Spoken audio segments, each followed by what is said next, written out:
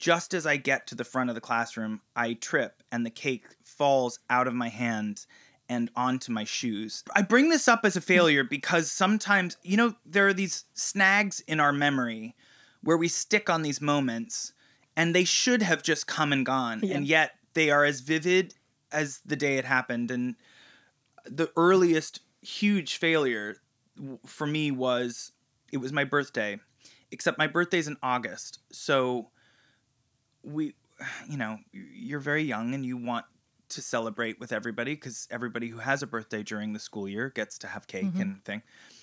So my mom made me a cake uh, to bring in right as the school year started in September in, in Canada. So we did a, a celebration around my birthday because it's in August. And I was feeling a little embarrassed anyway because it wasn't really my birthday, but it was anyway. The cake is at the back of the classroom. My teacher says, We have a surprise for the class. I knew what the surprise was. And she said, Daniel, I'm going to go and get the cake. And I said, No, no, no, I can get the cake. I'll get the cake. Very excited, happy to share with the class. As I'm walking up, I, the, the cake is revealed. The class is excited. Just as I get to the front of the classroom, I trip and the cake falls out of my hand and onto my shoes and flips sort of cake first onto mm-hmm. the ground. And the class obviously is hysterically laughing. And it is the deepest humiliation I'd felt in my young life. And I looked around and didn't know what to do. And it's that time where you're young and you don't know whether you should cry mm. or laugh. And so my reaction was to sort of, I guess, go completely pale in the face and then reach down and start to eat the cake off my shoes.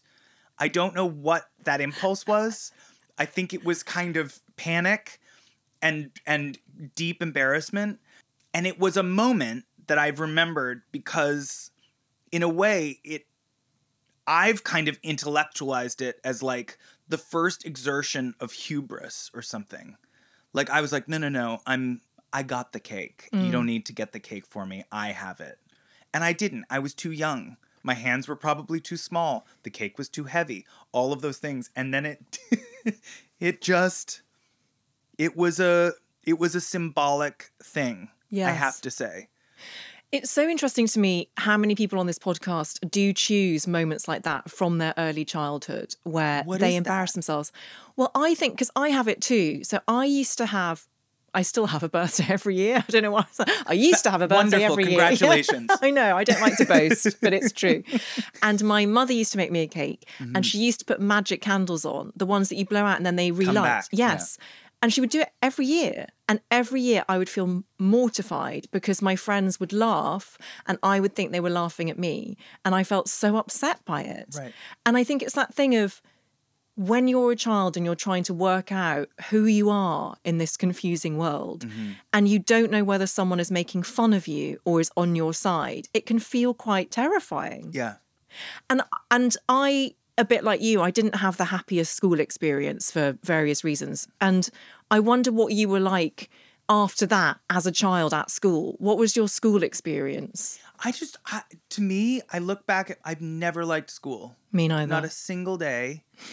And I think part of it had to do with the fact that I wasn't the truest expression of myself.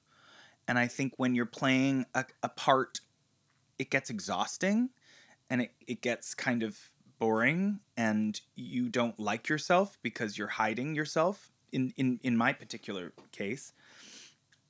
I just wanted to get through it because I think in my mind I thought once school is done, people will have the maturity to accept me. And it was kind of true. Thanks for tuning in. And if you found this video enjoyable, be sure to check out the full episode on your preferred podcast platform. And make sure you're following How to Fail on social media for additional content and updates.